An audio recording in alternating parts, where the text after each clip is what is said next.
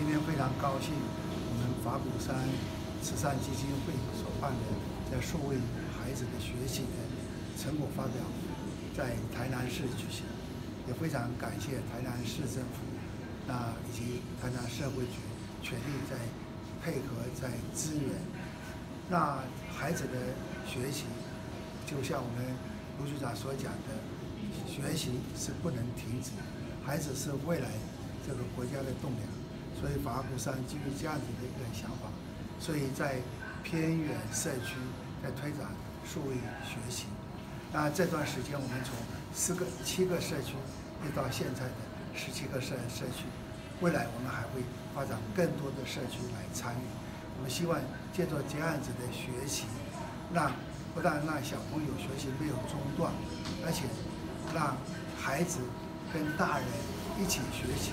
让学习的成果能够发挥到最大的极致。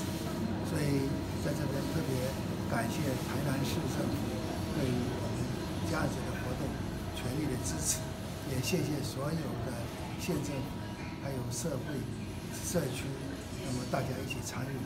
也谢感谢所有支持这项活动的各界企业啊，大家一起来做这样子一件非常有意义的事情。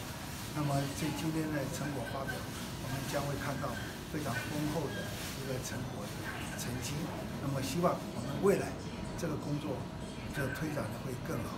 也感谢各界的支持，特别要感谢台南市政府，还有我们台南市市政府社会局的这个协助。谢谢大家，谢谢。